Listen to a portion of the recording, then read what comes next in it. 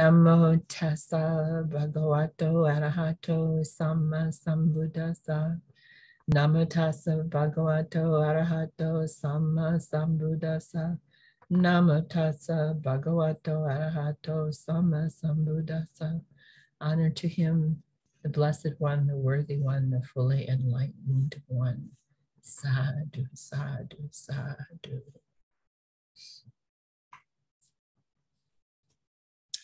So this uh, this little sutta is on uh, page 921 of the Samyutta Nikaya with the BB translation, uh, Bhikkhu Bodhi translation. Okay, and um, let's see, this sign off here, and it's uh, in the Khanda Samyutta Nikaya. It's called the Parileyya and uh, it's 81, then parentheses nine, parentheses. So on one occasion, the Blessed One was dwelling at Kosambi in Ghosita's Park. And then in the morning, the Blessed One dressed and taking bowl and robe, he entered into Kosambi for alms. And when he had walked with for alms in Kosambi, and he had returned from alms round after his meal, he set up his lodging in order himself and took his bowl and robe, and without informing his personal attendants, without taking leave of the Bhikkhu Sangha, he set out on tour alone without a companion. Now, this this wasn't really unusual for him to do this, but I guess it just maybe the time frame or something when they got there, he would just take off and he would go for a walk.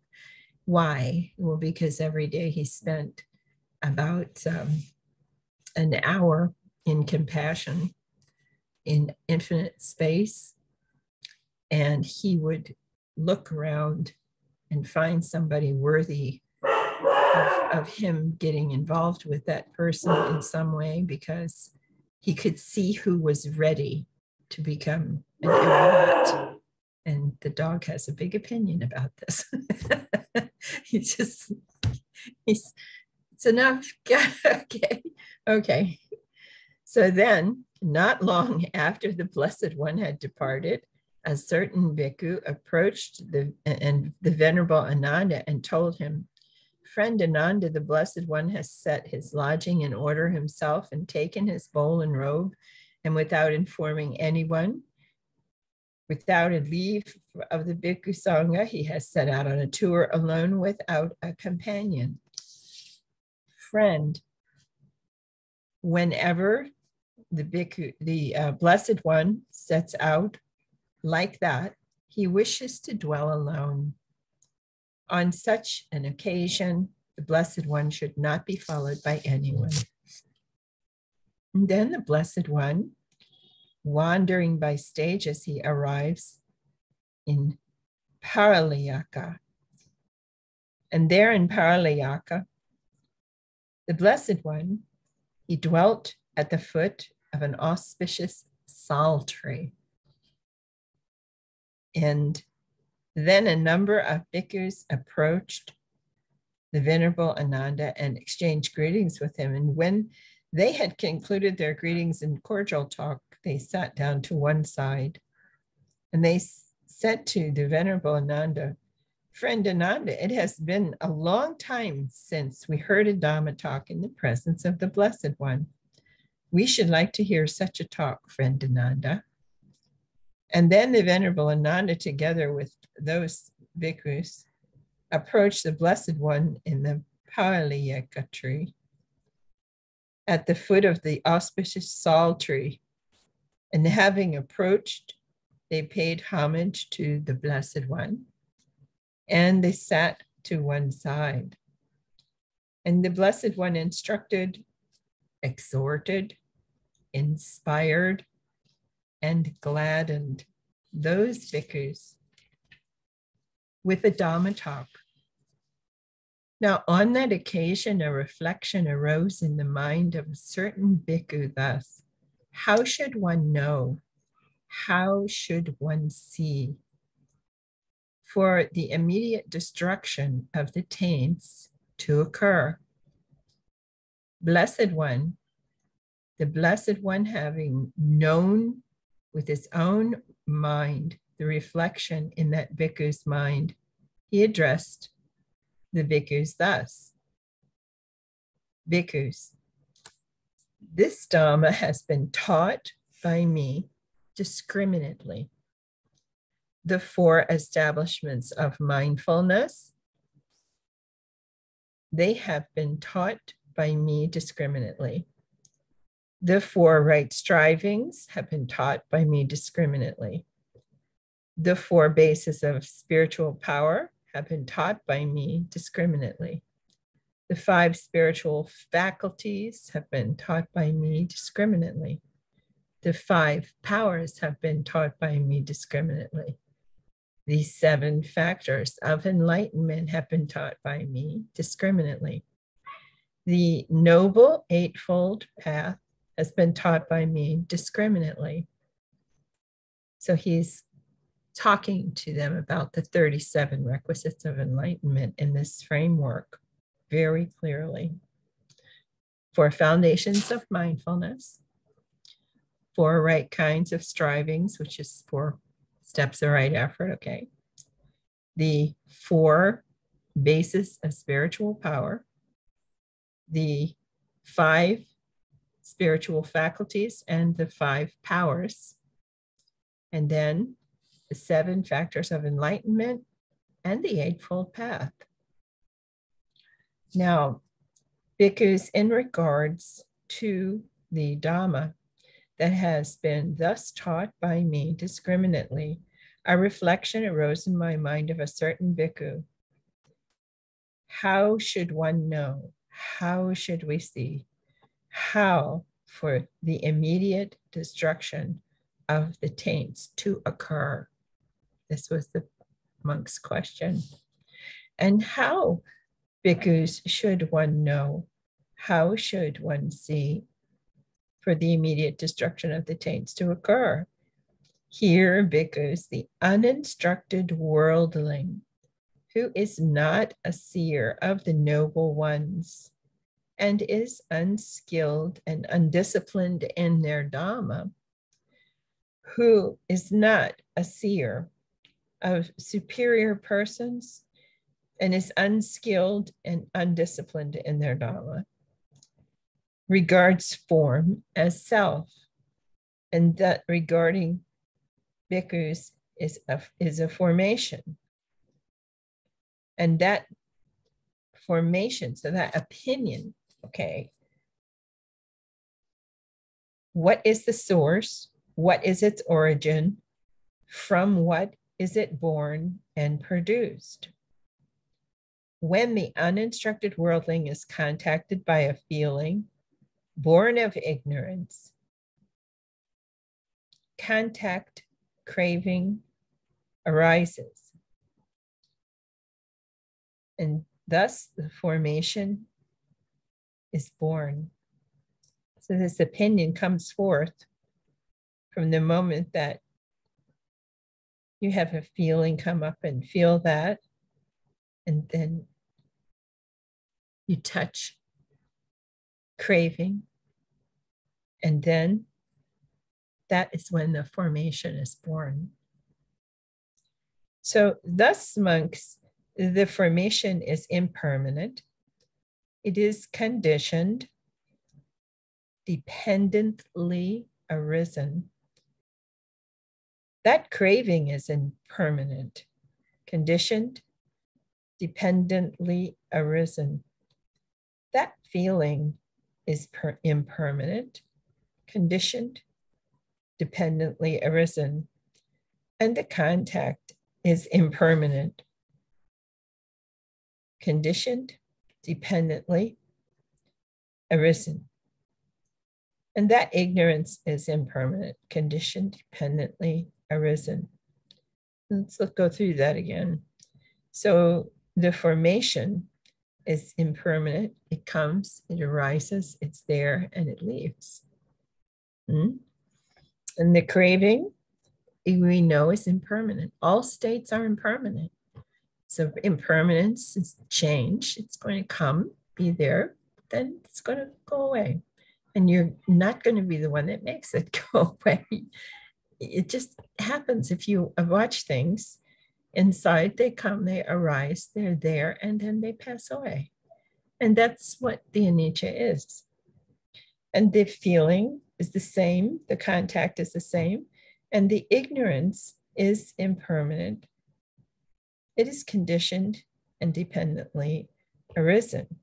Now it's saying dependently arisen. So actually, it's talking to you here about the links in dependent origination, right? Yeah. So if we have the, um, we're, we're talking about these links. And each time we know we have the sense door. And with sense door and a sense door object and a sense door consciousness. So the eye sees color and form, and eye consciousness arises. So these three components makes contact. And with contact as condition, feeling arises. With feeling as condition, then craving arises. With craving as condition,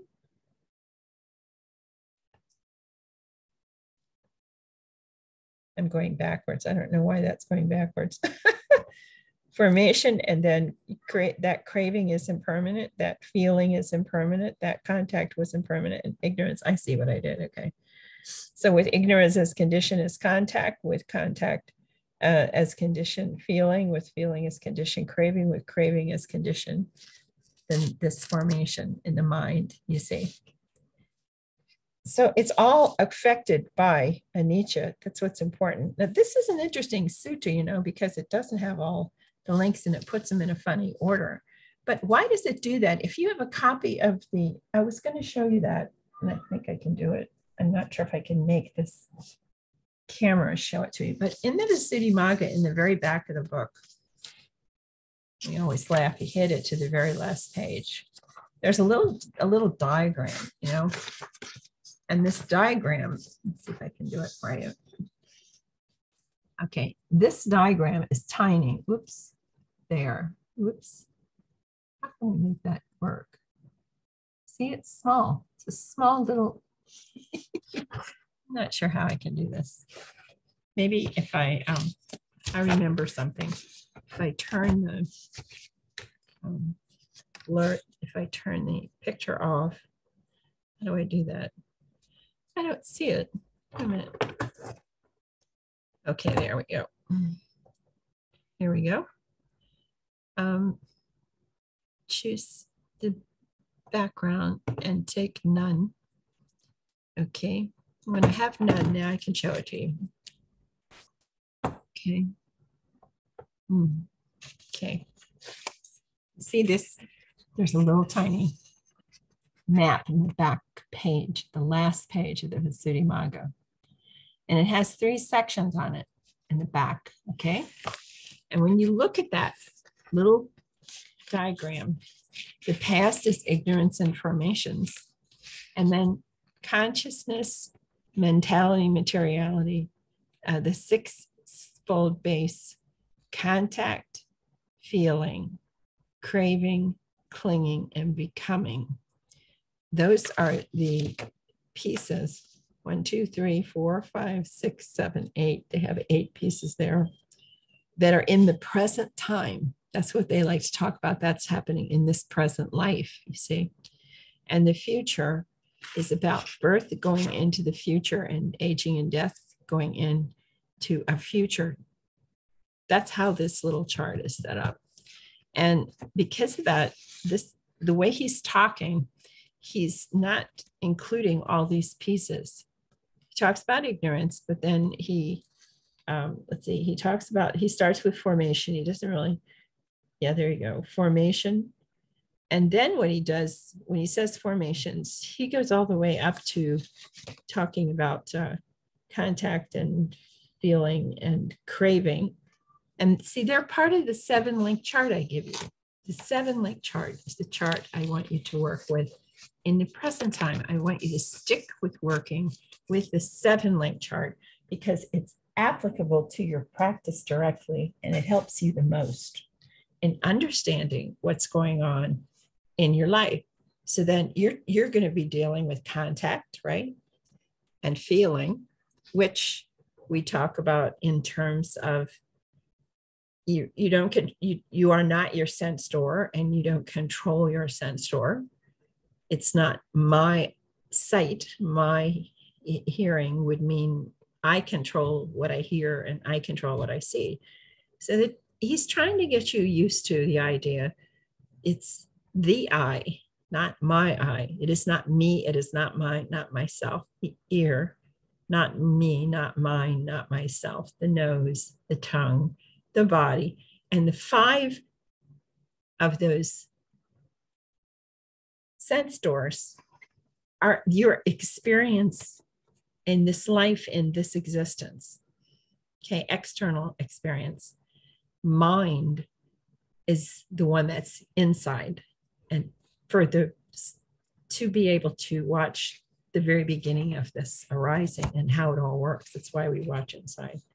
So he's using that a different formation or order of things in this particular sutta, but it doesn't mean that it disagrees with the other suttas that have different numbers of lengths. I get really, I like to sit and smile and I almost laugh when I run into monks that are having this argument that the Buddha is just, why is he so inaccurate? Why does he disagree with himself when he he talks about dependent origination and why does he do this? Why does he use five links, seven links, nine links, 11 links?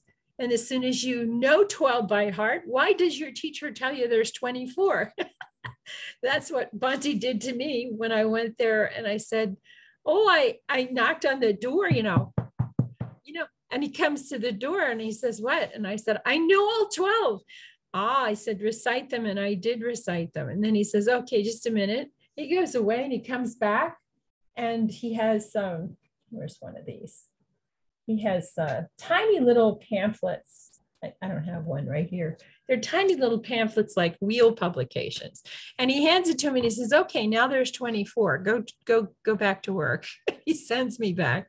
What he's talking about is the transitional system or transformation, transcendence or transformation, those two words someone came one time and said, you know, we don't transcend anything in, in Buddhism. I was surprised.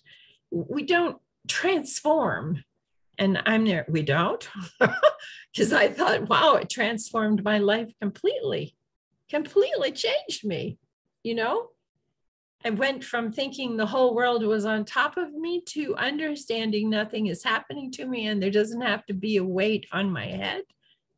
I came out to finally understand nothing is happening to you in life.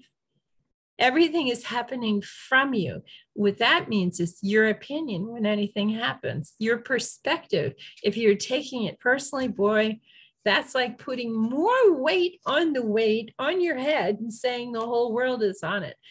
And Atlas, the Greek story holding up the world, it must have been horrible. I mean, everybody, the weight of everything, thinking he had to fix everything. But it's not that difficult. So these different different pieces in the different suttas are not contrary to each other at all. You have where you're explaining a particular feeling, and then you get another one where you're trying to explain specifically the reactions and how they work and the emotions, how they are different from feelings. You have different numbers of links you're working with.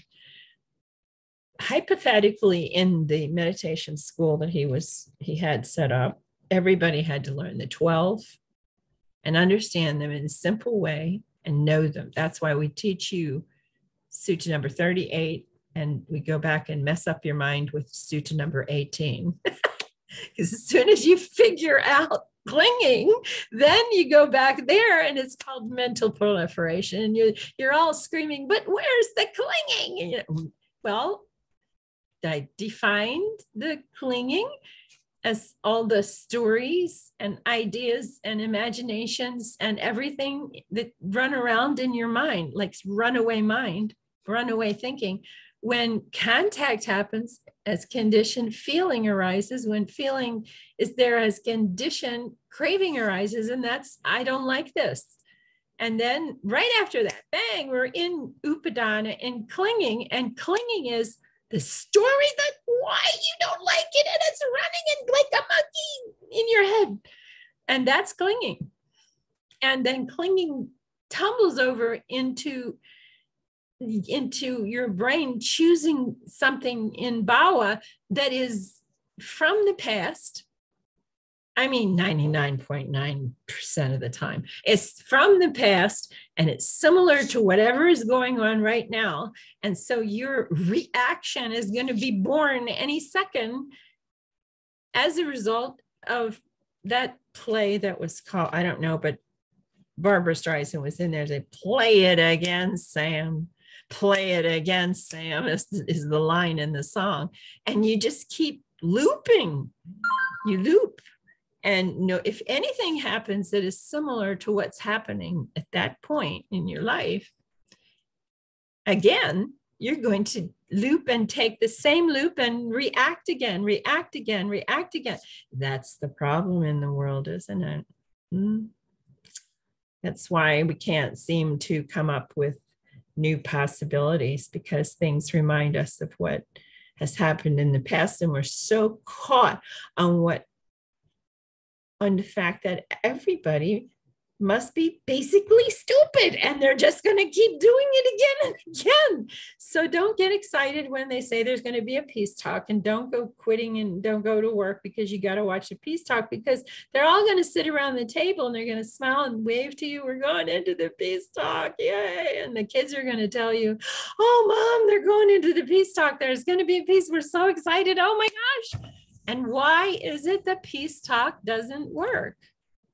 Because they should first sit there and learn dependent origination before they do the peace talk. Then maybe they would understand what was really happening. And I just don't believe we're stuck. I believe someday we're going to hear about how people are not stuck just sitting there. And, you know, Everett has the solution he came to the peace talk. He came and he prepared his dossier. And Everett sat down and he said, Look, I just need five minutes. I, I have peace for the world. I can show you how to do it. It's really simple.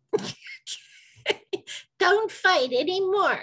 You know, you know, it's put those guns away. You know, take away all the tanks they play with and they and there's running around with little trucks that are not little anymore that have these things that shoot each other. Stop it get out of the sandbox, come back to the world, and just stop.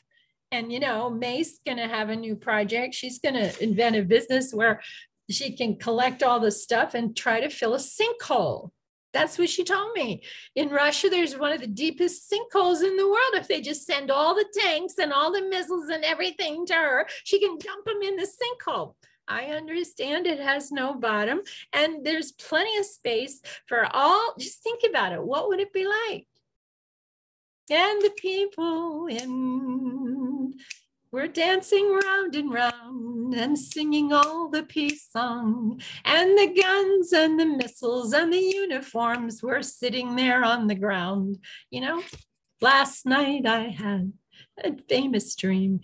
It's, it's an old song and it describes the whole thing. And everybody just put their guns down, came home, and they all said, No more, there's not going to be any war anymore. Somehow, these brains have got to have room in them to understand there is a possibility where everybody has the same spot in their brain somewhere where they can discover what it feels like to not even have to think that there's anything anywhere in this world anymore that could hurt somebody. There could be peace in the world. And if we all stopped fighting, hmm, what might happen? It would be interesting. Anyway, I shouldn't do this. I'm probably breaking some governmental law about you're not supposed to talk about this sort of stuff because it's about peace and it doesn't make money or something. I don't know. I'm not sure. Does it make enough money. Okay. Anyway, I believe human beings are potentially have a, enough of a brain.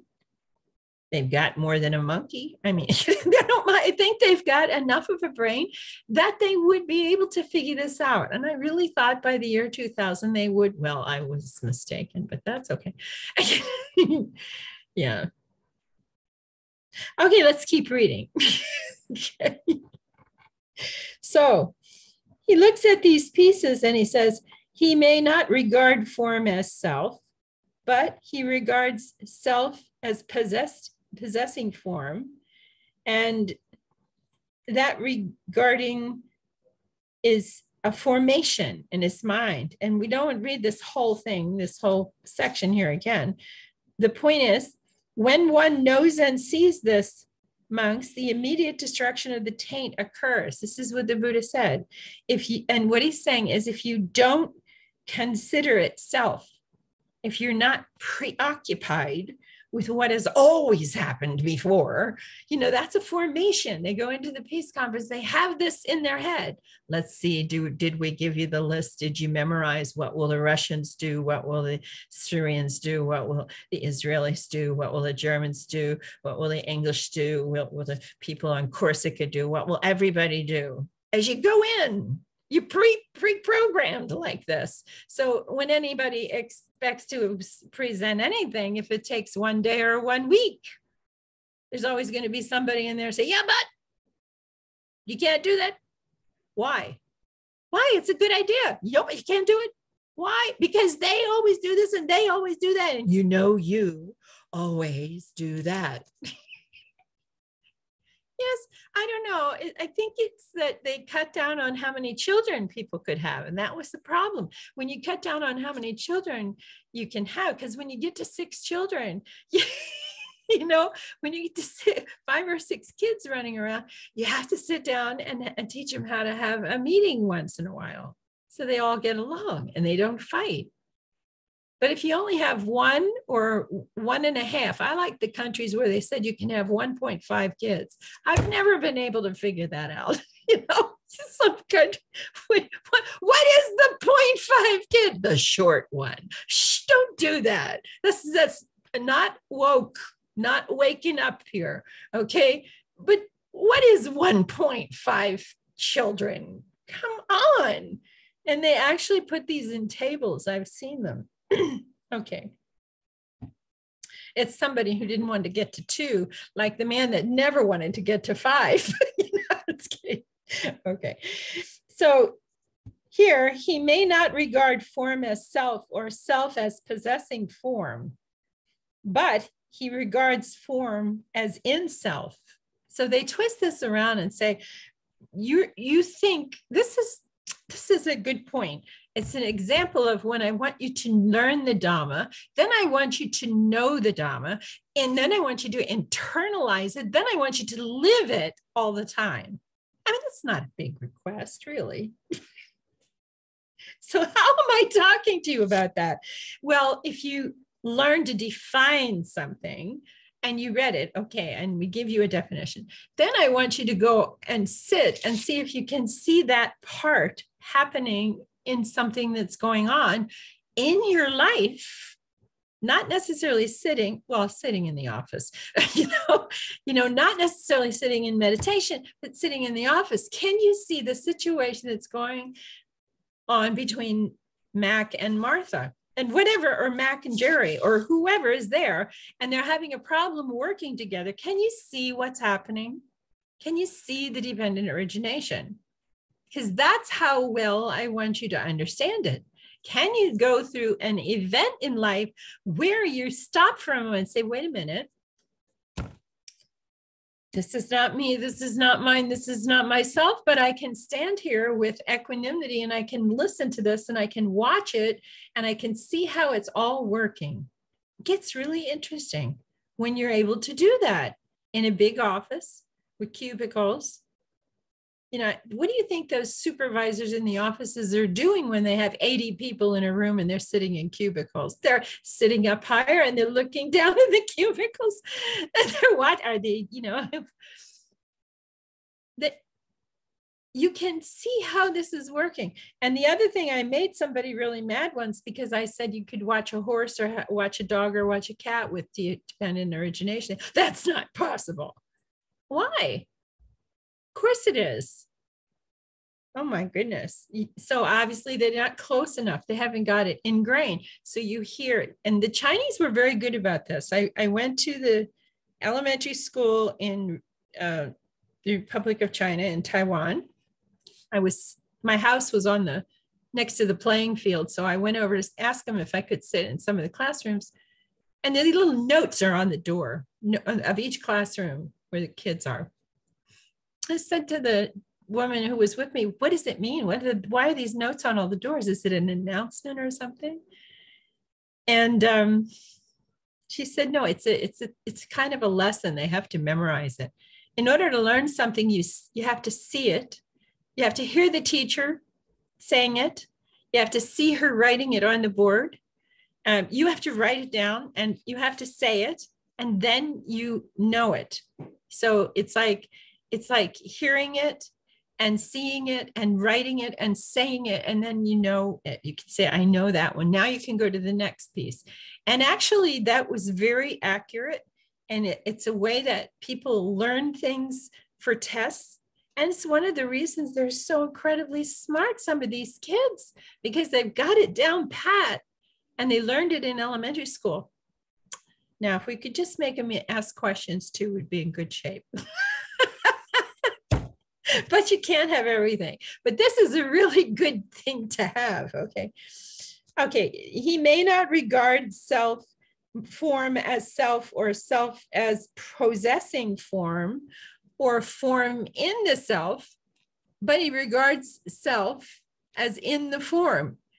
And that regarding is a formation. So he's trying to get you to understand you're moving towards letting go of formations completely in this whole thing.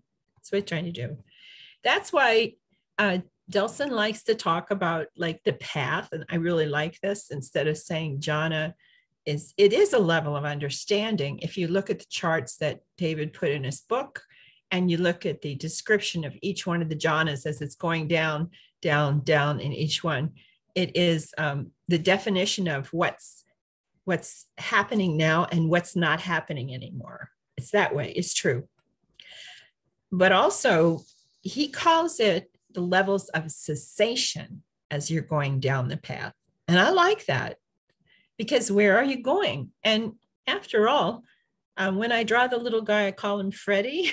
you know, it, it, used to irritate Bhante. he didn't like Freddie, but I mean, Freddie made a point, you know, and he has this much tension in his head.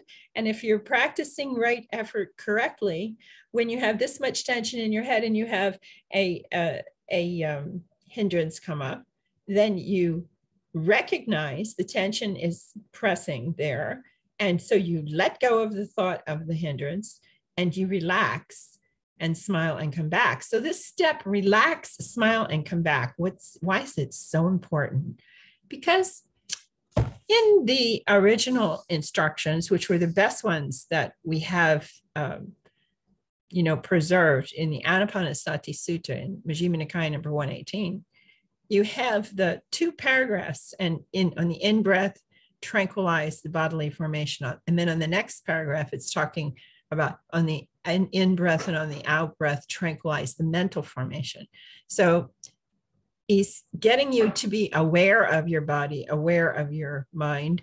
And eventually you figure out if you relax your mind, your body follows. That's something that you learn as you're practicing later on.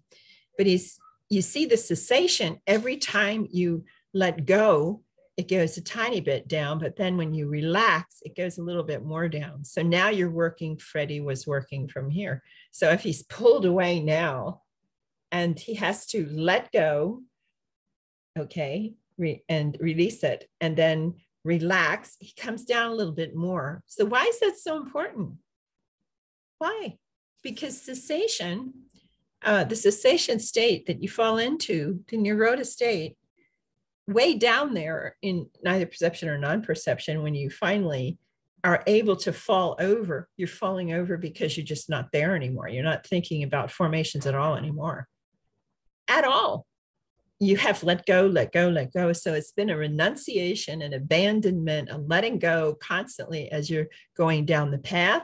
And if you're practicing right effort correctly, you're letting go of your attention on the uh, hindrance, and then you're relaxing and smiling. What the smiling is doing, it's making your mind immediately lighter. And it also makes your awareness sharper they have all these things they can wire you up now and they can say oh look there that got sharper and this got uh, this and this did that you know? And they used to start with these caps you know for people in research and they had like 12 pieces on them and the ones you can buy that you can hook up i think they have five pieces on them or something like five.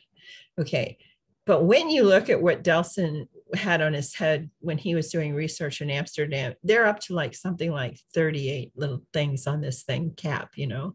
Kind of reminds me of a blonde who's touching up the end when the, she's doing, you know, they put the, they, do you remember this, but in the 60s, they put the, they put the uh, aluminum foil on the, on all the hair all over the whole entire head. And they had like about 50 to 70 folded pieces of aluminum. And then they touched up the ends the tips and the person looked like they had like uh, light in their hair. It was beautiful. If it was done correctly, it was really beautiful.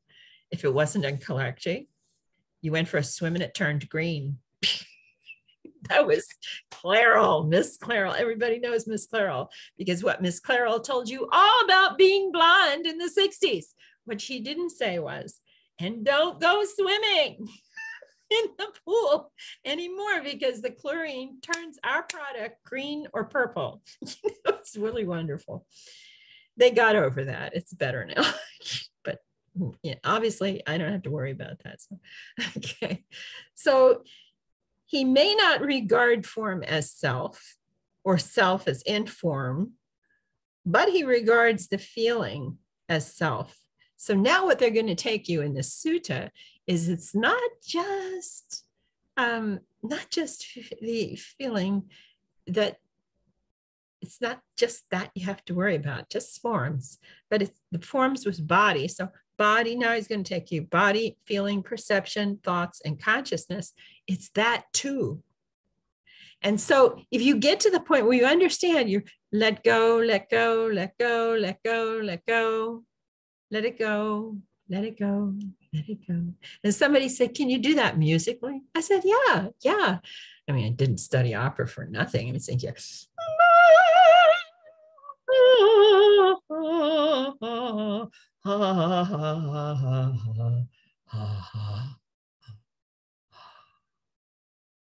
You see?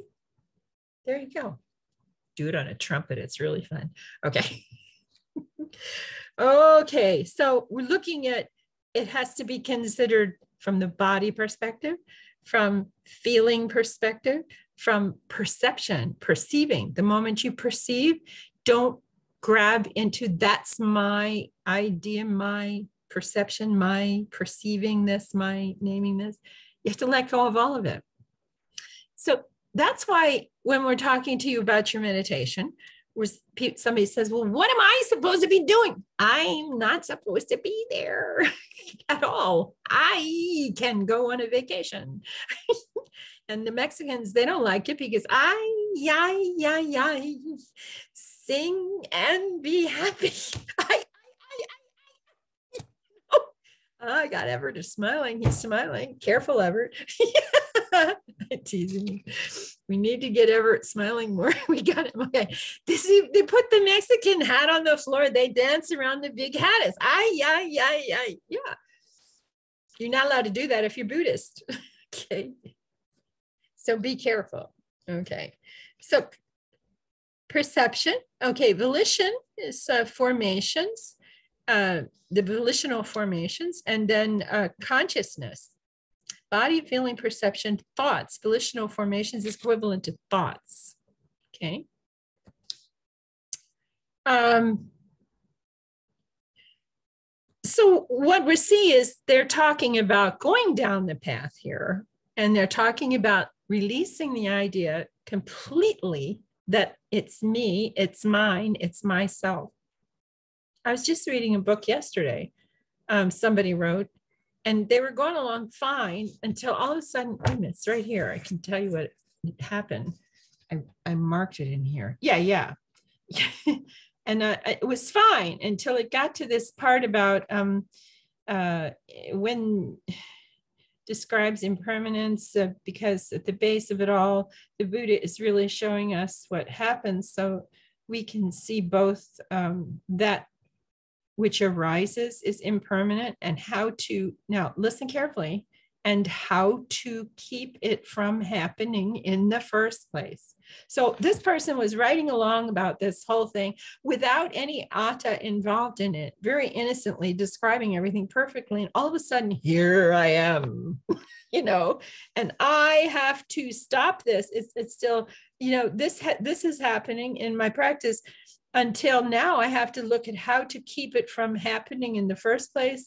And then the next place therefore proving its impermanence when we put a stop to it. You got that that means I just arrived at the party. okay, that's what that means. And I was frustrated because everything was going along so fine when I'm reading this thing and I'm thinking this is really good ideas. And all of a sudden, I showed up at the party. And now I have to make something happen, or I have to stop something or control something. So, the, not to mention that the atta and anatta were backwards. So, anatta was the whole problem. And I'm there, whoa, what happened on this page? And I have to write this person and say, please tell me how this is is it actually printed wrong or was it how did it get reversed? How did it get mixed up? And there's a whole page now and i'm there like i have 25 pages left to finish this thing. And i'm there but wait a second uh, what happened? I thought the was so clear. And all of a sudden wow anatta is the problem. And i'm there no. And this has happened before. This is a very interesting thing because you know for many years i didn't even think about it. You have a anicca dukkha and anatta. And i think i told you before i said to you that anatta is our i mean anicca is our friend and we should be respectful of it most of the places you read things being written about by about buddhism you hear anicca is the whole problem it is the unsatisfactoriness. It's the definition of suffering caused by change. And human beings do not like change. Since they do not like change, and change is equivalent to impermanence, and impermanence is a problem. Therefore, it is a cause of suffering. Now, people who have just been through an awful thing in a war and have to be thrown out of their homeland and go someplace are thinking change really blew it for us. You see, of course, it's the devil incarnate. And they it's just killing everybody's mind because change abruptly came. And I, I still in my head in the Ukrainian thing, I still have this picture of this woman talking to a reporter two days or three days before everything blew up saying our country's beautiful. We have a beautiful, um, you know, gross national product. We have successful city here and everything's beautiful. Nothing's happening. Nothing's wrong at all. And she left and went shopping. I don't know if she survived it, but three days later, that whole area was gone It just rubble. You see, that's change. So we can sort of put the damnation on the word anicca and hate it. And but remember, it's very innocent. And because it's a universal law that everything is impermanent. And then we come to the student who had the problem with the family where everybody was fighting and they're all living in the same house. okay. And she comes down the stairs and she's practicing and everything. And all of a sudden she realizes she has enough equanimity. She doesn't have to walk in the room where this is going on. And she sees the whole thing like it's a movie in front of her. And everything is happening like that. But now all of a sudden, this is not me. This is not mine. This is not myself. This is just a movie. And I don't have to walk into that movie. And then I reflect on the 1960s when things were not going well in my family, you know, and some people were yelling really profoundly at other people. And I would get on the phone with one of them far away and they'd be screaming. And then I'd start screaming on the phone. and, and years later, I become a Buddhist. And, you know, I found out something. I could have hung up the phone. I never thought of it in those days when I was younger, I never thought about I can hang up the phone. So before you throw yourself in desperation, if you're going through a divorce or if you're going through life in a really rough and tumble way and you're on the phone, please remember you can turn it off.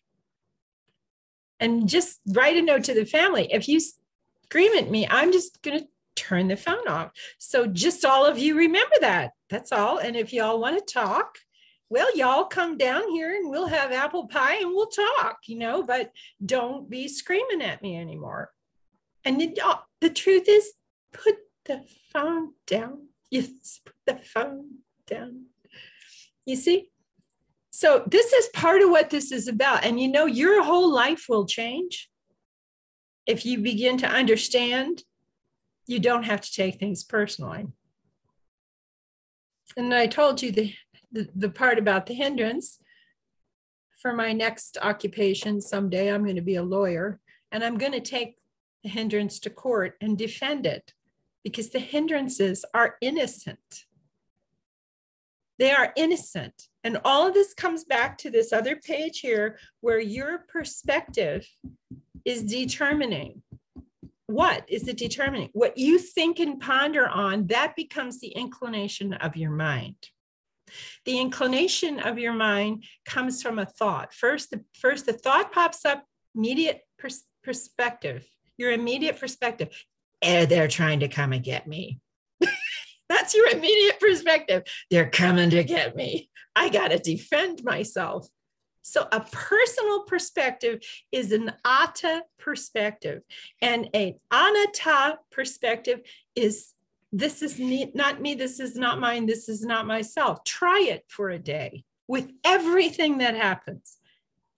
Everything. When they won't let you park in the street, when you're behind 150 trucks and have to wait 25 minutes just to get to the bridge or something, you know, and all these things that happen during the day. You don't have enough pencils, you, you ran out of pens, and honestly, you thought you had 20 in your pocketbook, but somebody dumped it out and took them, the kids probably, and you don't have any left. and all, and you're so annoyed and you start laughing at this whole thing. Don't take anything personally. And somebody said to me, Sister Khema, you are asking us all to teach the same way, but you are guilty because you changed the six R's.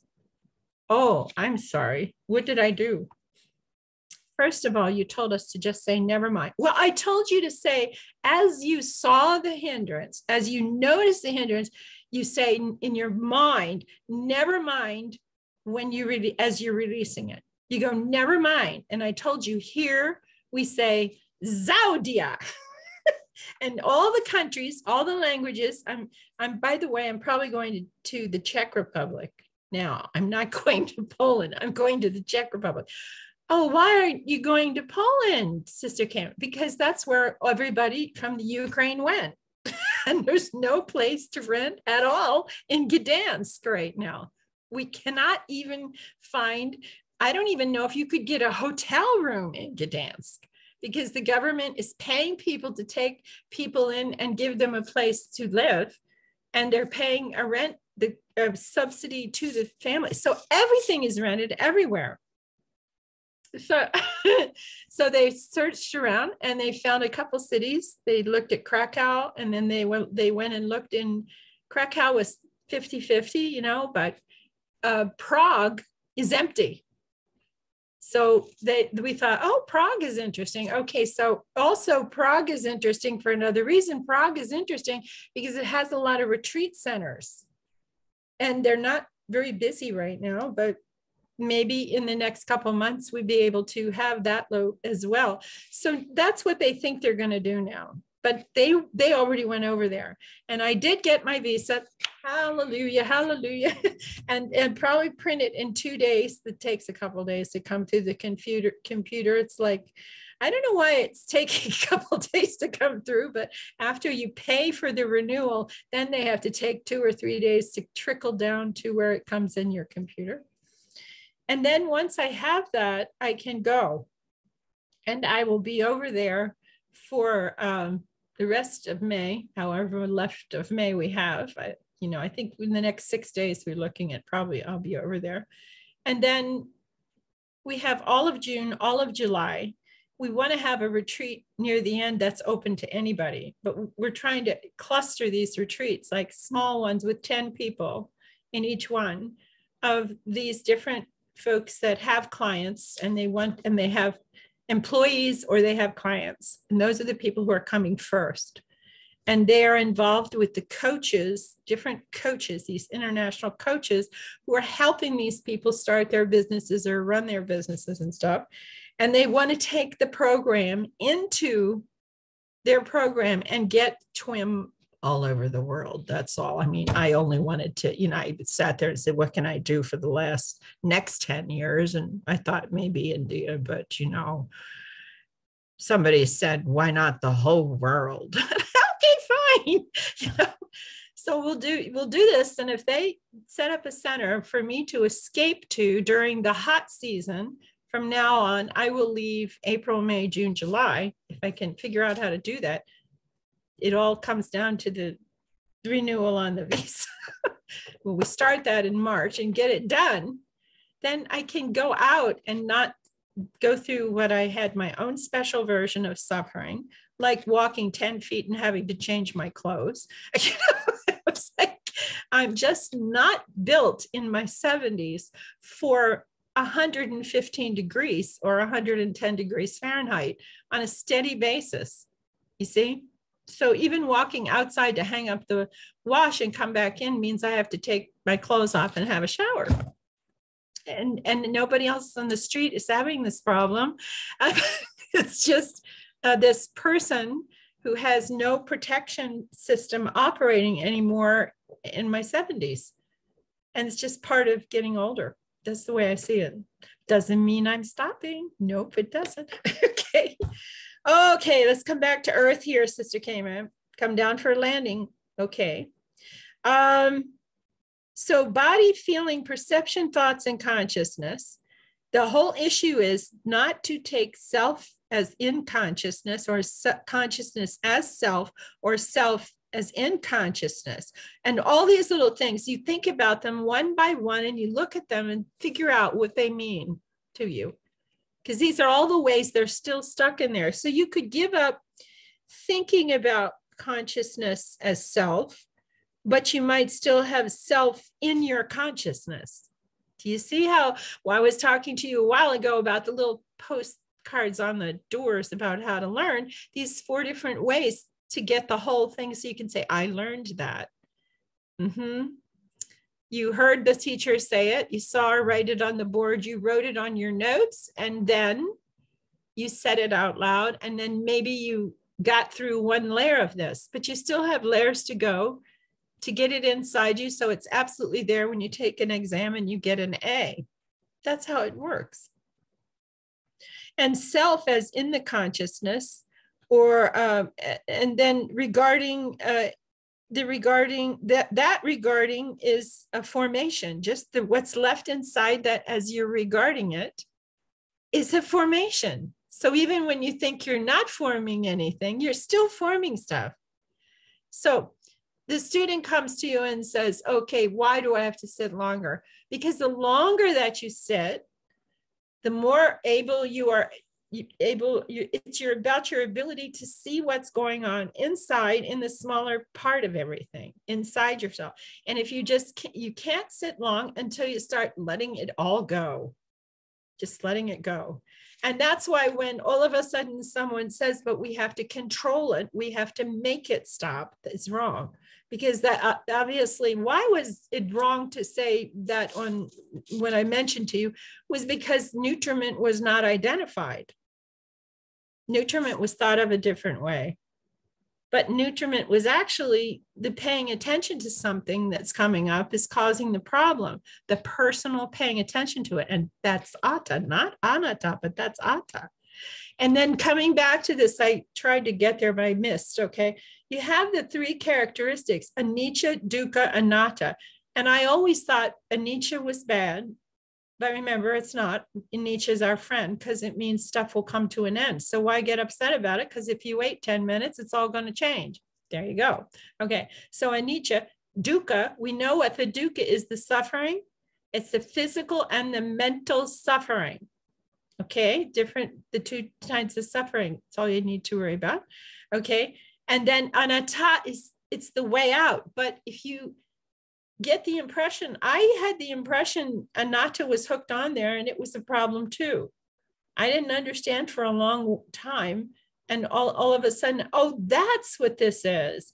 You know what tripped it off for me? In Anguttara Nikaya in the book of threes and the sutta is 125 you're going to find in that sutta, I teach a Dhamma. Let's see, I teach a Dhamma. I do not teach a Dhamma without a basis. I do not teach a Dhamma without knowledge. I do not teach a, a, a Dhamma that is antidotal. That's the first statement. The second one that follows it is I teach a Dhamma with a basis, a block of information, he means, that is secure that I found and figured out, very precise. And that's what we're trying to show you. There was this little block of information.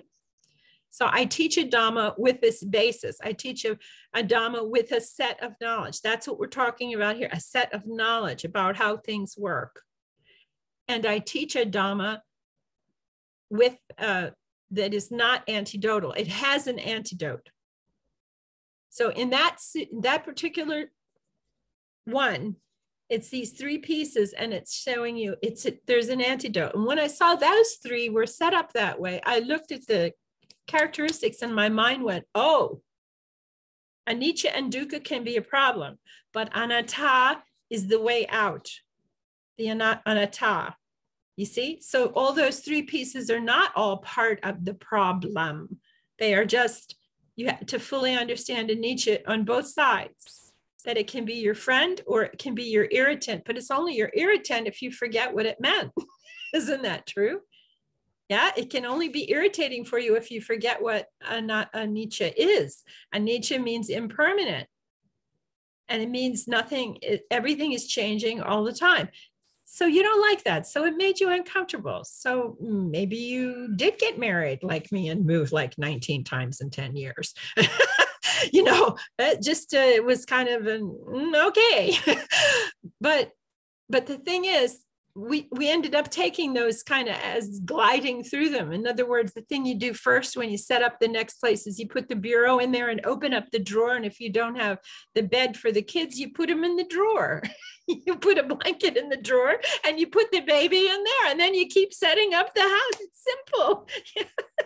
You know we lots of the wives used to talk about all of this together you know what do you do first? Oh i'm in agony because the last room that my husband wants to let me take out of the box and set up is is the uh, they want i always set up our room first she'll say and then she's miserable for the whole entire moving process because that's a big mistake.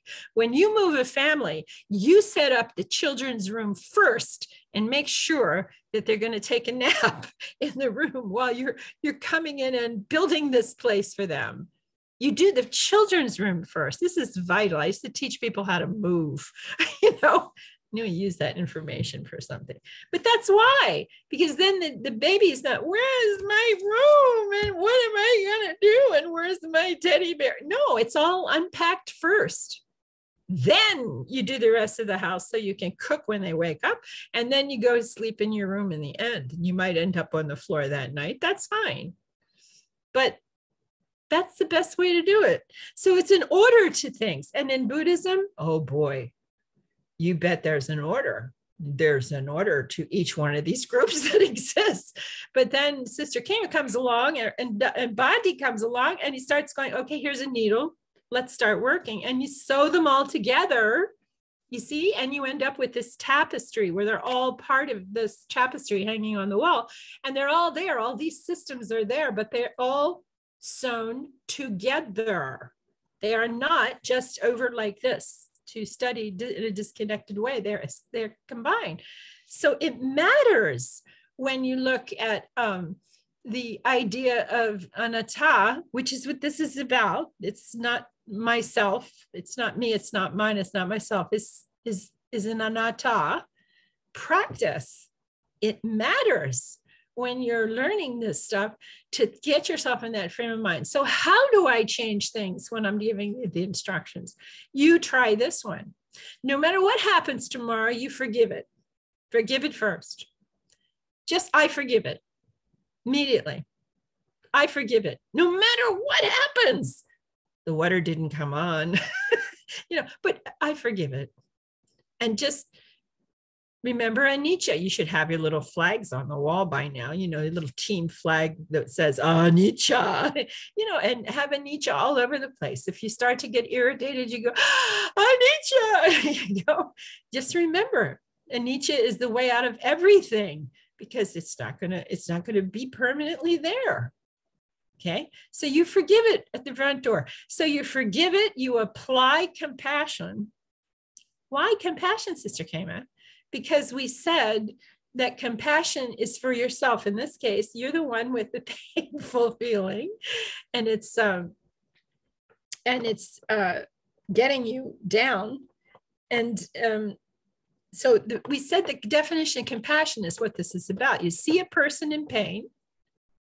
That's number one. Number two, you remember the knowledge that that person's pain is their pain. It is not yours. And you cannot take that pain away. That's the second piece. The third step is you give them this, you can help them figure out how to have the space they need to go through their pain. You know, if somebody's really crying because their boyfriend just left them. You, you don't shut the door and say, I'm sorry, nobody can come in my house that's crying. Go home and shut the door. you let them come in and sit. Okay. Now you know it's their pain and you can't take it away from them and they got a big problem. Okay. But you can let them sit there and give them a cup of water and you can just listen. You don't have to tell them how to do anything. Just be there for them and listen and make sure they get something to eat and make sure they get something to drink. Yeah. And they tell the story five times in a row to you, or maybe six times, maybe seven times. I was counseling somebody. Oh, she, she's a good, she's a good one. So I mean, I'm, I was counseling somebody about something. Okay, and they were coming. Uh, I don't have to tell you who it is or anything. It just was really fun because I was just listening and listening and listening. And she came over and she told me the situation from the beginning to the end, where she was stuck uh, from the beginning to the end, at least five, six, seven times in a row. And I told her, I said, look, don't ever feel bad about this. She said, Oh, I did that. I said, but don't don't feel bad about that. I made her feel better. Years ago, I had something really terrible happen. And I just wanted to tell the story and nobody was there to tell it to. And the neighbors were all on vacation. Everybody was gone. I couldn't even go next door and have coffee and tell to somebody. So I decided to go shopping. And I went shopping and I went into this little mall where there was a shoe store and nobody was there. I, I was I don't remember what the holiday was, but just nobody was around. It wasn't where everybody went shopping. It's more like they all went to the mountains or something. And I went in the shoe store, and the man, the, the shoe salesman's in there. So it was a hush puppy store. And I, I love hush puppies. So I started looking at them and I, he got four or five boxes, different styles and different sizes for me. And he sat in front of me on the floor and he's putting the shoes on and on. And I'm telling him the story and telling him the story. And I'm telling him the story for about 45 minutes. And I'm feeling a lot better because I'm telling the story. And he's going, Yep, yep, yep. And I said, I still feel guilty to this day because when I was finished telling the story for the fifth time, I left. And the saddest part is, I didn't buy any shoes. this is years and years and years ago, but it comes up in my mind. I didn't buy the shoes. I still feel guilty. I don't know if he's still alive or not. But the point was she I told her that story and I and when she started to tell me again, I said, "Ah, remember the shoe salesman." so now it's like just remember the shoe salesman is waiting for you to come. You know if the if the store is empty and he has nothing to do and you, life is terrible you just go and sit down with the shoe salesman. But please if you do that if you ever do that please at least buy a pair of slippers even if you don't buy a pair of shoes or at least buy a pair of socks for heaven's sakes. You know they have socks in the store. Buy a pair of socks Okay, coming back to this, this is not me, this is not mine, this is not myself, which was her lesson. Okay. and it's going to be, and very much in anicca, it will come to an end. And, you know, it did a time later.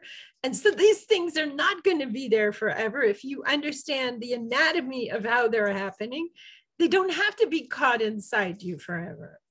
Yeah, you don't have to be Atlas and carry the world on your shoulder. And so when one knows and sees thus, the immediate destruction of the taints occurs if you're willing to say, This is not me, this is not mine, this is not myself.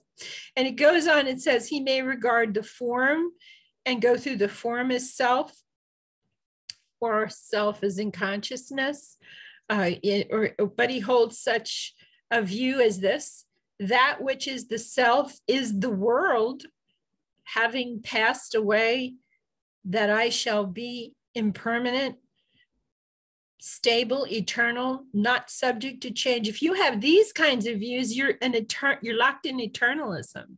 And you're you're when one knows and sees this way, the immediate destruction of the taints occurs. When you're looking at it clearly and you understand how to balance it against that, then it means that they can occur. But he may not regard form as self or hold such an eternalistic view. He holds such a view as this I might not be, and it might not be for me. I will not be, and it will not be for me. The annihilationist view is the formation. So, eternalism, the extreme there, or the eternalism uh, or, or the other point of this is it, life is this, the die, that, that's it, nothing more. There's nothing more at all. It's absolutely the uh, end of everything.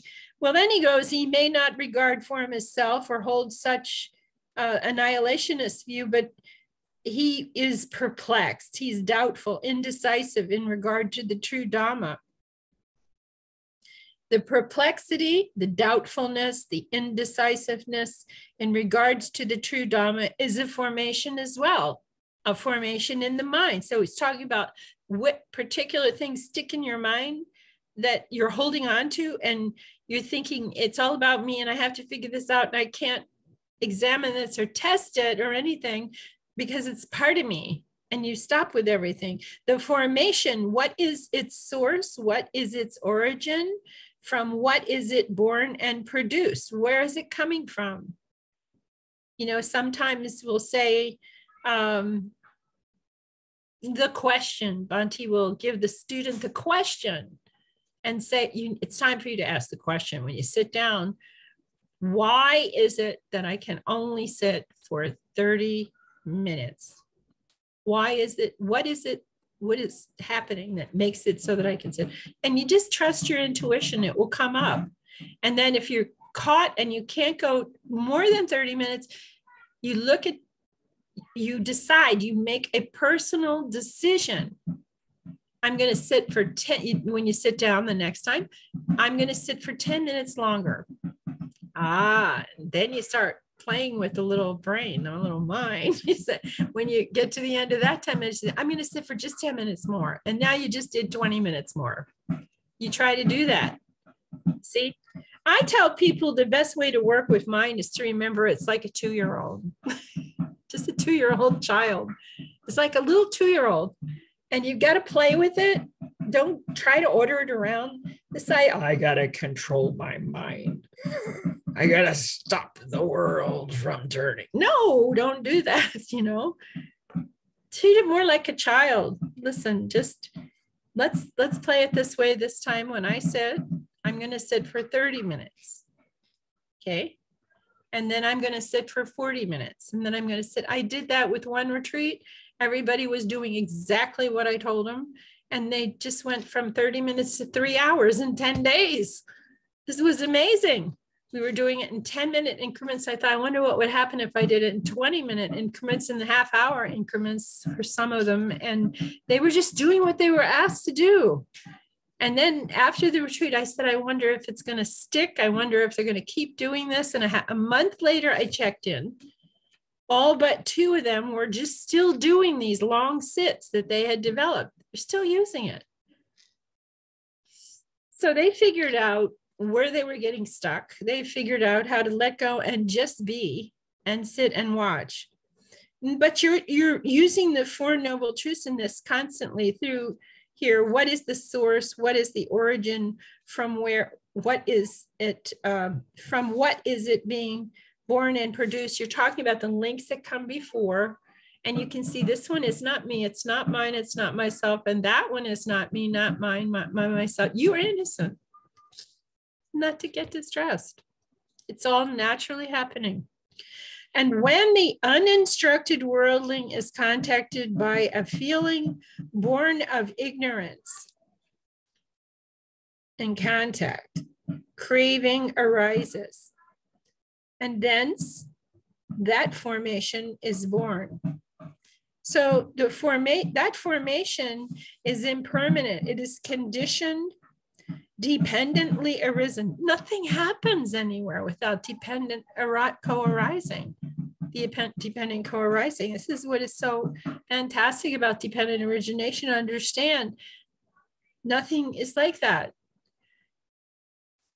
The craving is impermanent. It is conditioned dependently arisen. Feeling is impermanent and conditioned and depend, dependently arisen. Contact is per, impermanent and it's conditioned and it's dependently arisen and that ignorance is impermanent, conditioned, and dependently uh, arisen when one knows and sees how everything is working. The immediate destruction of the taints occurs. So, this is the end of this little sutta. So, questions to any of these little silly stories I told you, but just telling you these little silly stories because they're ways to remember stuff. You are powerful. Some people come into meditation feeling lost and I'm just not powerful and I can't, I can't, I have no power at all. Let me tell you something. The world is walking around out there and they don't know any of the stuff we're talking about and you have such a tremendous edge on everything if you understand how things are working. And it's so powerful that when you go back in the Majjhima Nikaya, I told you about that statement at the end of the Upakalesa Sutta, Majjhima Nikaya number 128, just the way it is framed in the last paragraph. And he goes through the 11 different types of hindrances. And what does he say? He says I saw Anuruddha, I saw the that this doubt was an imperfection of mine, and so I abandoned it. That's all he says. He abandons it the moment he sees it's an imperfection. An imperfection is something you think it's a blockage, it's going to stop you. But once you learn that this is not me, this is not mine, this is not myself, you understand that the hindrance, and, and you know what the hindrance eats for food it eats your attention. And if you pay attention to the hindrance, it will get bigger, it will get stronger, and it will come back, it'll be, it'll stay longer because you fed it. And so will the bear, and so will the raccoon, and so will the skunk. You know, they're all going to come back to the cabin and be there on the back porch tomorrow at three o'clock in the afternoon. If you dump the lunch garbage out there, they're going to come to get it, you see, because you're giving them nutriment. Well, the hindrance behaves the same way. I, I once was called by my uncle came screaming in the house. Actually, he was riding a horse and he came, put the horse down at the barn with his daughter, and he's coming up the house screaming, We got to go help Hazel. And what happened to Hazel? She just phoned me, and the bear is in the house and she's caught in the bathroom. And what happened? what happened is they went and got honey in the woods and they brought the honey back and they let, had it on the dining room table. And this time of year, these bears are waking up and the bear smelled the honey. And she had just the door was open and she had gone into the bathroom and she tried to come out. There was the bear by the dining room table. And you talk about a mess in that house. He came to get that honey and he just ramshackled that place, you know. And she was just, she just stayed in the bathroom. She didn't have any honey with her, you know, it just stayed there until he got finished. But this is, he's, he's the hindrance, but all he really wants is food. Food. Yeah. Okay, questions. Anybody? questions? Hmm? Yes, I, I, I was uh, wondering. So um, a sutta like this, there, there are um, suttas like this, and is this sort of meant like a a recollection that that you actively engage in, like hmm, uh, body? So let's think about the body in self, self in body. is that uh, is that the point of it, or is it, or is it more like as you or as I advance and or become more uh, or practice more, you start to see these things by themselves. you can see them by your by themselves inside the meditation, but it's also a skill training thing. So see, the school was set up so they're not taking notes, but the school was set up in a way where their note system was their memorization system. So it's through repetition. That's one of the reasons the suttas are structured the way they're structured is because um, you keep do, repeating it and repeating it and repeating it because it's a method of training, audiologically training, okay, and drilling and drilling and drilling until you just know, you know, the, the answer. And it's inside of you and it becomes part of you. And that's what he's after. Because then when you go out into the world, and you start to practice, there's one of these that works with the six sense doors. There's lots of sutras that work based on the six sense doors. So I used to tell my beginner students, you know, please, you know, go outside and for the next week, take a day for each one of the sense doors. That's six days. Watch everything that you see and and just think about it. Do I believe this is my sight and that it's it is me when I see something? It is mine and then how serious does it go? Is it myself that i could not see uh, i unless i had was doing it? We used to play a game with that when i used to tell you you know okay if you, so this is your sight. Yes it is my sight. And i say well okay then you go home tonight. Here's my phone number. I'll give you the phone number.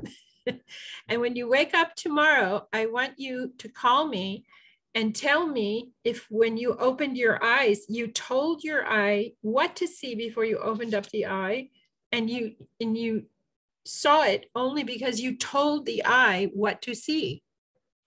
So if you don't realize that you don't understand that optical system is an anatomical part of the body and, the, and you have an optical we always go eyes ears nose tongue body. And i started to go optical system auditory system, olfactory system, oral system, and the, the body system, physical body system, okay, of touch and, and feeling, you know, like this sort of thing, touching anything, experience of touch.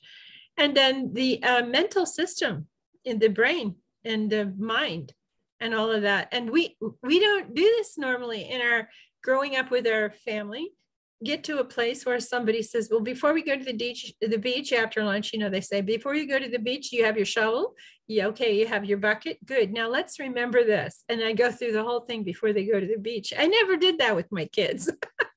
Everything that you see, hear, smell, taste, touch at the beach, just remember it's not me, it's not mine, it's not myself, it's just here. It's you're seeing what it is. Now go back into the um go back into what we do when we're in a retreat, you know, when we're in a retreat, and the, in the morning, we have that one phrase that we get annoyed with Bhante. There's 246 or something different verses in, in the Dhammapada, but he wants to stick with these. And when I give you a lesson on these to really understand why does he want you to stick with these one, two, three, four, five couplets? So there's two verses in each one. So you know, uh, he he because they have expressly important points, you need to drum them into your brain until it completely absorbs it and knows it. And one of those is in the unessential, we imagine the essential. In the essential, we see the unessential. And anyone who entertains such wrong thoughts as these never will realize the truth. What is essential we regard as essential. What is unessential, we regard as unessential. And anyone who entertains such right thoughts will be able to realize the truth. So, what is that couplet about? When you see something, how do you see it? Do you see it as this is what it is? This it's only this. And you've heard Bhante in talks say, fear, you know, or what's it good when uh, panic panic attacks okay? Um, believing panic attacks are me they are mine and they are myself they are who i am and i am powerless over that if that's true powerless over that. But if you get the person this is not me this is not mine this is not myself this is just my body doing this thing you know it's just but it's not me. I didn't say it's time to have a panic attack. And when you're suffering panic attacks and you you don't uh, take any you believe that you're helpless in that situation. They get they have drugs that they that they'll give you to stop it from arising. But you never learn. You never learn the truth about the panic attack. The panic attack is not me. It is not mine. It is not myself. It is just a panic attack. You're talking to everybody about my panic attacks. How are your panic attacks? My panic attacks. But the panic attack syndrome, the panic attack is they don't understand can be, it's all based coming, a lot of it's coming from the brain. And it, and it compounds very fast when it starts to happen. It flows through the body, and then there's this fear and the fear expands to, I'm going to disturb May. I'm sitting between May and you. Everett's going to go crazy because I'm going to have a panic attack. And all of a sudden, I'm going to be sitting here going, and you're going to wonder, should I sit next to this person? What's happening next? You're, you're going to go crazy. So there's all this concern. We all have concerns for people around us when we're in a group. We don't just stand in a room with a bunch of people without having some concerns who's here who is that what is that one going to do or this one going to do whether it's manners or how you eat or just all over the place. And when you have a panic attack everything compounds very quickly because you feel you've been told because the drug companies have this drug the doctor doesn't say it that way but that you're helpless. And so take this drug and take it and see how long uh, you need to take it, but you'll never stop taking it. I know people that have taken those for years to maintain control that it never happens before you go out in a group of people or to a concert or anything like that. Okay. But you don't need that if you understand the structure of actually what's happening in terms of dependent origination with a panic attack. And if I gave you the charts, I gave you the worksheet and go carefully look at the panic attack line and tell me what happens with contact. Did you see something? Did you hear something, smell something, touch something, taste something that sets it off? Okay. And then when it gets, it starts moving, the contact, the feeling comes up. And for you, it's a painful feeling when it comes up and very quickly i don't like this i don't like this and you're you're jumping to the conclusion of why you don't like it because when it happens when i'm around people and i better not go around people anymore and i'm going to disturb people and my mother's going to get mad at me and my grandma is going to go crazy and what am i going to do? Oh my god it's here! You see that's where you are with this thing and it's happening and while you're going through that you're soaking wet from your neck all the way down through. You see? But you have to remember Anicca. whatever arises is going to pass away. And re- you could relax a little, even if you only had the story about anicca, you would relax a little bit and say, don't worry, this is going to get over. Or just go out to the car and drive home and change clothes and come back again, you see, or until you get used to the fact that this doesn't own you. These events, these things that happen, they don't own you. They are just what they are. You see, they're not me, they're not mine, they're not myself. The lesson is an extraordinary lesson if you go out and expand it to examine it more closely. Now, the monks were able to do that because they were all listened to one sutta the night before. When they get up and they're walking alms, they're watching the effects of that sutta they heard the night before. When they come back and eat, they're watching it. When they clean up, they're watching it. When they go out and sit that day, they're watching it. And they could take a whole day and walk around and just examine for the first time how does this eye actually work? When I turn my head, do I tell it what to see? You don't need the anatomy of the optical system to learn this either. It's fun, okay, but you don't need it to learn the lesson you need to learn because the lesson is it's not me, it's not mine, it's not myself. Essentially, what is happening here is this is an event. It has not happening, it has a beginning, it rises up, it's there, it's happening, and then it passes away. So it's not there, it rises up, it is there, and it passes away. And that's from 111 in the Anupada Sutta. So it was a methodical way of teaching this. And then you do it with the ear the next day everything you hear. And you see how it really, it's an amazing experience to be alive, the hearing. Next day, you look, take a look at your, your smells, the odors of things, and how it works when you're making a salad, how, how it works when you're preparing food or cooking or cleaning the dog up or cleaning the baby, changing the diaper. I mean, you know, or you're having to uh, wash the car and the kids have gone out and we won't talk about it. You have to deodorize the inside of the car, you know, whatever, it, you know, you have to do. You're using your, your nose. And then the next day you do wherever you eat. You can do it every time you eat, your tongue. And if you're good at doing this and you're disowning it and not taking it in yourself, one thing that happens is sometimes you can get so good at it with your tongue maybe not i just it happened a few times for me while i was driving Bhante once in texas i said this is the craziest thing. I was sitting there for lunch and i could tell where the flavors were on the tongue the different part pieces. And he would ask me questions. I could tell him where the salt was where the sour was where the sweet was where the bitter was. I could tell him. And it didn't last but it was there for a couple days so it's from it's from playing the game with these sense doors that these things can develop. You're experimenting. So what are you doing? You're doing what two-year-olds do. You know when they start to get curious about themselves they start doing all this stuff. And if you were able to be home with them all the time and watch them you would see them figuring things out. That's what they're doing.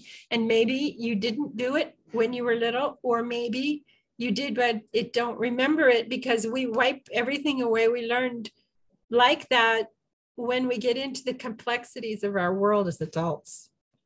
We, we, we let it disappear. It gets overwhelmed with thoughts that are in here. But as you're cleaning house and you're pulling the cobwebs and everything away, then um, you start to see more clearly how everything actually is working. So yeah, there's skill training. There's skill training. You look at the Chachakka Sutta, you know that one's skill training. Boy, that one is really structured strong, 148. Because the, uh, he's really working you over. One whole section is uh, when I, I told, teach you about that sutta, that it's broken into pieces, and I give you the breakdown for that sutta and when you listen to it, you just go listen to it sometime. It's only one, it's exactly one hour long. Take an hour and just sit there and listen to Bhante read it or to me read it. And it starts out this uh, the six sets of six and it tells you what the six sets are. And then the first section, it's telling you, uh, you know, we've got a problem here. And you can see the monks sitting there by the lamp, listening to him say, you know, there's a problem here And if, if this first section, I think, is uh, if anyone says the I is self, that is not acceptable. The rise and fall of the I is seen and understood. And since its um, since its rise and fall are discerned, it would follow myself rises and falls, and that is why it is not acceptable for anyone to say that the um, this is the I is self, and thus the I is not self. You understand what I just said? Okay. Then it goes to if anyone says this the sight is self, what you see, you know, the color, the form, that you see is self. That is not acceptable. The rise and fall of the form is seen and understood, and since its rise and fall are discerned, it would follow myself rises and falls. And that is why it is not acceptable for anyone to say the form is self. And so the eye is not self and the form is not self. It's so meticulous. And then it goes eye and then form and then eye consciousness and then eye contact and then eye feeling and eye craving. You see, six pieces for the eye, six pieces for the ear, six pieces for the nose, six pieces for the lips, six pieces for the body, six pieces for the mind. Okay, and then you can you can hear these monks in your mind say, "Well, how did we get that way?" And then then he has a section and he says the monk believes that this eye is me, it is mine. He grows up thinking it is me, it is mine, it is myself and he grows up thinking that the form is me it is mine it is myself and he goes through all six pieces again for six uh, six you know six sixes or 36 times okay? And then the next one you can see the monks are all sitting there going well wow how are we going to get out of this? And then he tells them the next section and he says well if you if you want to get out of this you have to walk around and say you know this eye is not me it is not mine it is not myself it is just an eye. And then the form the same way, and the consciousness and the contact and the feeling and the craving. So there you go, 36 times again. So it's this very methodical how this is set up. There is no way, in my opinion, but I'm wrong because somebody wrote a paper about this and didn't even pick up that it was a skill training. But in my opinion, with the tech manuals that I've read for different types of things in my life, or how to operate a program where I had to call Everett or somebody to tell me how it works because I can't figure out the tech manuals anymore. But when you use tech manuals for, for technical stuff in the digital age, there is no way that you can hear this sutta and not think it must have been a skill training because then he goes into the part the two sections about so uh, if anyone uh, this goes through a pleasant the feelings and everything. And he says if you are in this situation you cannot get to nibbana. And then he goes through the whole entire thing again. And he says but if you do this you can get to nibbana. And he makes them memorize this whole entire thing. This is a teaching on what? This is not me. This is not mine. This is not myself. This is just what it is. And it's anatta perspective impersonal perspective not taking it on yourself. And so once you start using this sutta, start doing it a lot, if you listen to that sutta every day for like four days in a row or five days in a row, five times, okay. I listened to it for about 30 days, just every every single day. And then when I'm working and everything outside clearing land and building fires and construction work and everything, I'm doing it all day long and realizing it's really true and then I was in a university and there was a, we each had to do an assignment and somebody got up and made fun of anatta and said it wasn't Buddhist, that some other religion had it first. And they did it. And she, she described how it was uh, that they had it first, but they didn't go into it to the depth that the Buddha did. That's the difference. And so I, I threw my papers away Uh, right then and there. I tore, tore them in half in front of the teacher and said, okay, it's my turn. And I had 15 minutes and I took the section that talks about it specifically, explains it, not the whole sutta. I had like 15 minutes. And I just recited the sutta. And they were amazed, you know, she's reciting a sutta. Yeah, well, I was doing the rebuttal against what the other person said by proving that everything is not me, it is not mine, it is not myself And there's no denying it with that sutta that that was a training, skill training thing. So, yeah, it's meant to get you fired up with the idea of what he wants you to learn the Dhamma, not by what I'm telling you here. He wants you to learn the Dhamma by testing it for yourself and learning it through knowledge and vision of how things actually work. So, whatever the teacher, we say guides for that reason. Bhante and I had that big discussion way back when we thought we were going to teach teachers. And we said, no, you know, because I'm over here and, uh, and, you know, I've had enough of the guru experience and I, we're not gurus and and we are we don't want to come across as teachers because teachers are related to gurus in the modern world too much and so when you just listen to someone and accept it does it run through? It will for a few people.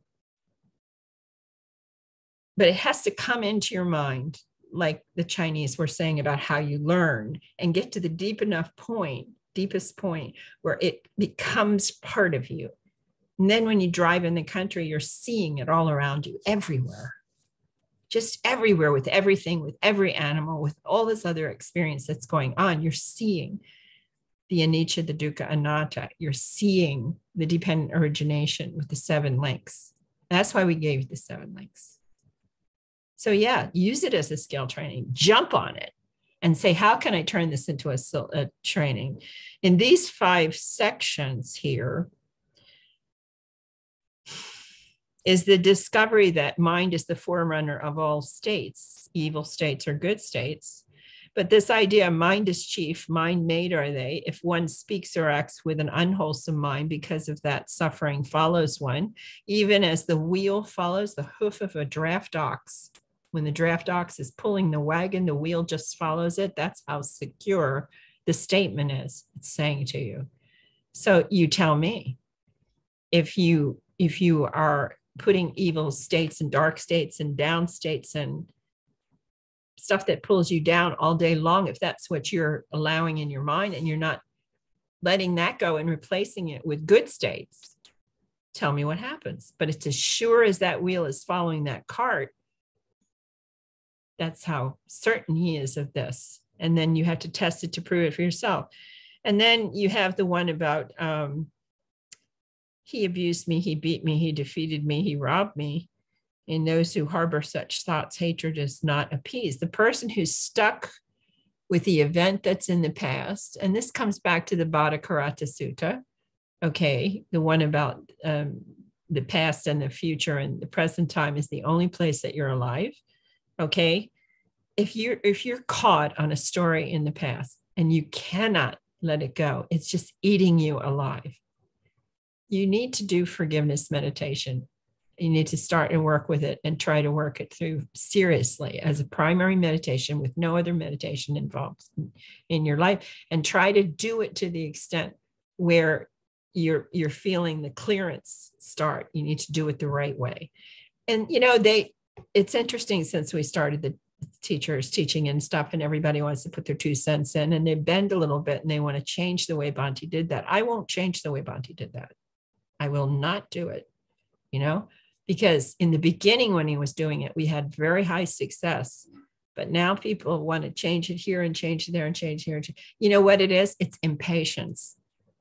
If the person doesn't get it, immediate gratification and make it work instantly, then they feel they have to change the ingredients when all that's really going on is your your brain is set up to protect you and if the event is something that you locked inside, it's trying, it's concerned how you're going to handle it if you go back and to forgive it. In a PTSD, this is important too to understand. The brain is actually your friend and it's trying to protect you because that's part of its job is to protect you from going into shock at the time of the event, but also it's the job of it is are you strong enough to go back and review the event and see it now so the brain is very careful about trusting you to do forgiveness. See, but you have to talk to it like a little child and just let it say, you know, I'm okay. I'm an adult now, and I want to see how this this stuff works and take a walk and just talk to it for a while. I don't care what anybody says about this, but that's how it worked for me. And it's worked for a lot of my students. You just treat it like there's a little two year old living with you, and it's called brain. His name is brain. And you say, look, I'm, I'm not butting into your job. I appreciate the fact you protect me, but I'd like to, I would like to get this out of my mind. So I'm going to look at it and try to go through this and get to the other side so it doesn't, it isn't in there anymore. And then you work with one of the teachers pretty close, you know, so, and then uh, we had the unessential and essential one. We looked at that one. Then we said, um, one develops a mind that rejoices now and in the future. One rejoices if states, if both states, uh, in both state, the well-doer rejoices, you see. So you celebrate your deeds that are pure deeds. This is not bragging time, but you celebrate your good deeds and remember them and try to produce good deed, good uh, thoughts, good um, images in your mind that are like the ones for the good deeds that you did and how you felt. And you compound it. It's like the more you smile in your practice the easier smiles are going to pop up in your in in in your life with other people if you if you make a point of smiling all the time for a few days and see what happens and when you're smiling all of a sudden somebody will say hey hi and you hi you know nobody speaks to me you know yeah, but if you're smiling all the time, somebody come walk by and say hi, and you say hi back. One man had a shock of his life because people never responded to him at all. And he completely changed because of this. You see? But all it was was training his brain. It's okay to do this. And it actually feels good for your body, good for your heart, good for your circulation, good for your sleep, good for your stomach, everything. If you just smile, that's it. Even my spaghetti. everything is working better. Okay. And then the, la- the last one here, though a person recites the sacred text but doesn't act accordingly, the heedless person is like a cowherd who counts others' cows. They have no fruit in the, no share in the fruits of the holy life. Yeah. But though the person recites the sacred text very little, but they act in accordance with the teaching. It's what we're doing, it's how we're using it in life. That's what's so important about this lesson and everything he gave us. If we're not using it on a daily basis and experimenting with it in the field, in our life all the time, then you're not taking it to heart, you see, to use his program. And how do we pay uh, the Buddha back? We live the we live the eightfold path. That's how, you see. Okay. Any other questions? Does that answer your question? Okay, it's okay. Yeah, thank you. Thank you. Okay. And so um, now, I'm sorry, that was a t- I had to get the tick. You know, we're invaded by ticks. we only have uh, so far. I think I have 700 ticks in that uh, jar. Yeah. Mm-hmm. So they're hatching in here, and it's not fun. Um, but I got over the terror of it and said, Nama none, they wouldn't dare bite me. They wouldn't. so I could believe that. Anyway, um, okay. Any other questions about anything else? You got another one? Ever?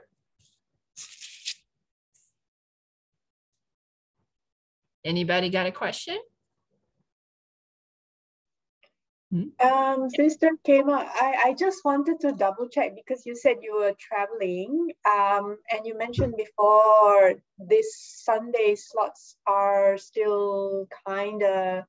No, they're okay. Yeah, I talked it over with Bhante Dhammagavesi. We looked at the calendar and um, basically said between the two of us, we'll be able to handle it because where I'm going, I'll have a good setup with the internet Okay. And we'll be working on, um, for that whole project, we have to work on marketing and just all kinds of stuff, setting up marketing and location and, you know, doing stuff constantly on the internet. So this would be a good internet location where we are. Yep. And um, so we should be able to handle everything okay. And he said, anything isn't covered, he'll do it. So it's not a problem. We'll just work you and me and him to make sure it's covered each time. Yeah. Okay. Okay. Yeah. So it should it should be okay. Okay. Anybody else? If you know anybody that lives in Europe, you know, let us know. And um and just let us know so we can reach out to you if um we are going to open a retreat, a one regular kind of retreat, you know, with 20 people before we go home. And probably that retreat will probably happen sometime in July, you know. Um, that's what I'm seeing, thinking is going to happen. Um, and so um, we'll just see how how everything materializes, okay? Okay. So are we ready to say prayer? Yeah.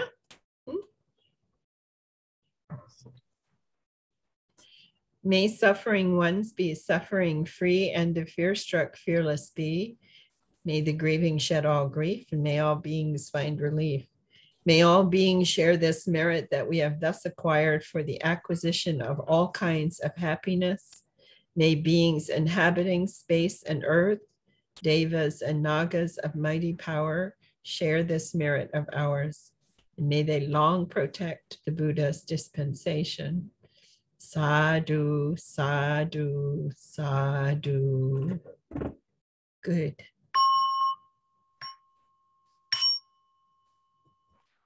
Oh, the bell is so glad to be back, you know.